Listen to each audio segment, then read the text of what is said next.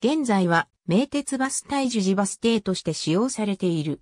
大樹寺駅は、かつて愛知県岡崎市鴨田町にあった名鉄衣線の駅。衣線廃止時の終点であった。衣線の大樹寺駅岡崎井田駅間は路面電車で運行され、機動線の名鉄岡崎市内線と実質同一となっていた。このこともあり、大樹寺駅が衣線と岡崎市内線の実質上の接続駅であった。駅名は徳川市の菩提寺である大樹寺に由来する。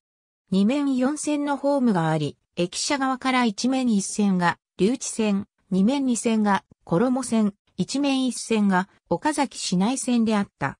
機動専用ホームは高床ホームに階段状の段差で低くして使用された。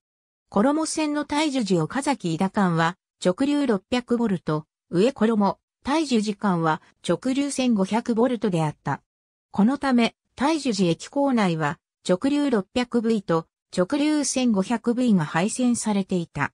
大樹寺駅よりユニチカ岡崎工場の引っ込み線があり、駅構内には貨物用の側線も存在した。そのため、農流産タンク車で、当駅常備の車両も存在した。大樹寺駅の駅跡は、名鉄バス大樹寺バス停及び駐車場になっている。